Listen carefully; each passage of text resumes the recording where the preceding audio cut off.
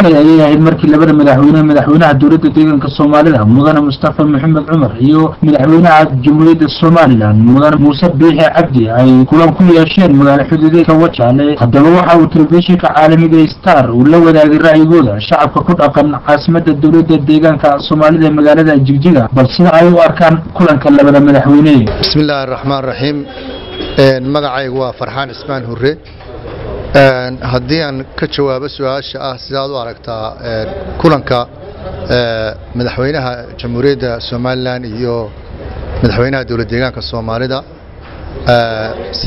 si aad iyo aad u fiican baan u arkaa. Sida runtaa taariikh ahaan dhaqan ahaan dad ahaan diin ahaan iyo dhan kasta deegaanka soomaalida shacabka ku nool iyo shacabweynaha soomaaliya ku nool ama somalilan ku nooli waa dad dhan walba iskaga xidhan. Hadday tahay dhinaca dhaqaalaha hadday tahay dhinaca arrimaha bulshada hadday tahay dhinaca ma garanaysaa horumarka. Sidaas awgeed waxaan leenahay fursad aad iyo aad u wanaagsan ayay u tahay shacabweynaha soomaaliyeed ee ku dhaqan labada dhinac. Markaad ka soo qaado dhinaca ganacsiga nabadgelyada dhan kastoo aad eegto waxaan odhan karaa waxaa weeyaan fursad aad iyo aad u qaali ah waxaanu dhiirigelinaynaa soona dhowaynaynaa kulankaa ay labada mas'uul yeesheen. Waxaanu leenahay ha la joogteeyo oo muddo markii la joogaba kulan caynkaas oo kale ah ha la galo sababtoo ah shacabkii maadaamuu isku mid yahay dadkii isku mid yahay dhaqankii isku mid yahay ganacsigii isku mid yahay dad laba bulsho oo sinaba u kala maarmi karta aanay ahayn. Waxaan leenahay arrintaasi aad iyo aad bay muhiim u tahay. Dhammaan bulshada soomaaliyeedna kadinka ay dowladda etoobiya ka soo gashaa waa deegaanka soomaalida. Haddii wanaagooda iyo xidhiirhkooda iyo iskaashigooda iyo nabadgelyadoodu wanaagsanaado waxay horumar u noqonaysaa in ay shacabweynaha kale etoobiya iyo shacabka soomaaliyeed ay dhan walba ay iskaga faa'iidaystaan hadday ganacsiga noqoto hadday nabadgelyada noqoto hadday arrimaha siyaasadda noqoto haddii ay arrimaha dhaqanka noqoto haddii ay iskaashiga noqoto geeska marka waa albaabkii deegaanka ummadda soomaaliyeed ay ka soo gelaysay etoobiyada inteeda kale waxaan ka mid ahay dhallinyarta ku dhaqan magaala madaxda caasimadda jijiga waxaan aad u soo dhoweynayaa kulankii dhex maray labada madaxweyne kaasoo wax ka bedeli doona ama ay kaga wada hadleen xoojinta amniga labada shacab iyo isdhexgalka labada bulsho ee labada dowladood.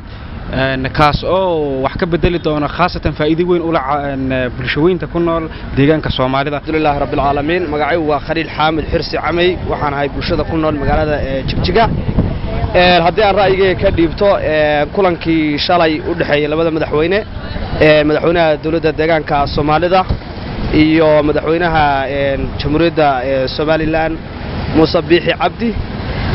Fikirkiisa waxaan u arkaa kulanka ay kulmeen waxaan arkaa kulan muhiim ah.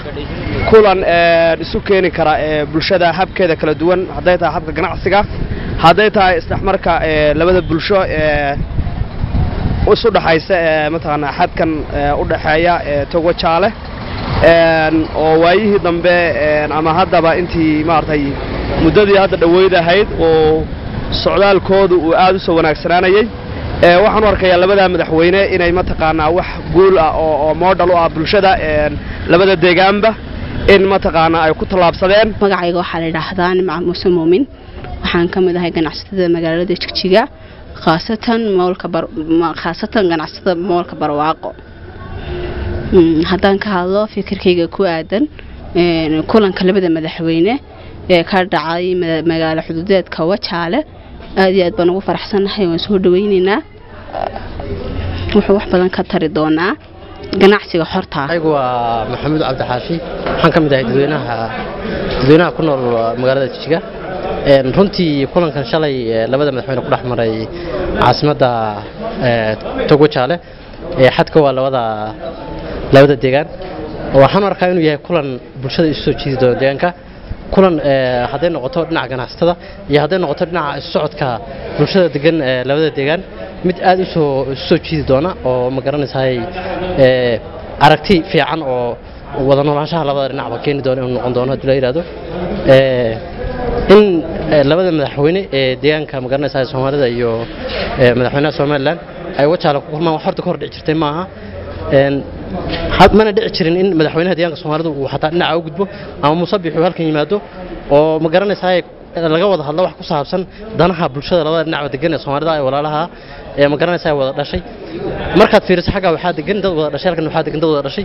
Hooyo iyo abti iyo adeer dumaashi in abti baa la wada yahay. Bulshadu way wada dhalatay soo daat in laga wada hadlo danta waxa u alla bulshada degan labada dhinacba waa wax aad u fiican waana soo dhaweynaynaa wallahi. waxaan ahay dhalinyarada ganacsatada ah ee ku sugan magaalada jigjiga.